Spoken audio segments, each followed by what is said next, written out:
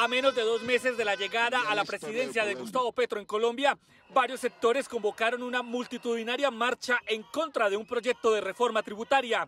Otras propuestas que causan revuelo en la oposición son el alza de los precios de los combustibles y el impuesto al consumo de plásticos de un solo uso.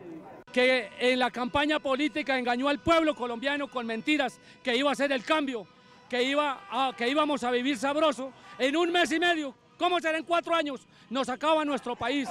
Muchos ciudadanos afirmaron que salen a las calles a marchar porque sienten miedo de ser expropiados. Un gobierno que está proponiendo una reforma que, que, tacha, que daña el derecho a la propiedad privada. Hay que salir a exigir, a exigir nuestros derechos. Otros colombianos consideran que el gobierno de Petro solo lleva dos meses y no apoyan la movilización. No las apoyo, pero sí pienso que muchas personas creen que es culpa de Petro cuando las otras administraciones hicieron malos manejos. Para evitar un estallido social como el ocurrido en los años 2019 y 2020, autoridades pusieron alrededor de mil policías en todas las ciudades acompañando las manifestaciones. Un dispositivo de la Policía Nacional eh, muy completo eh, de acompañamiento a la marcha pacífica eh, por las diferentes vías.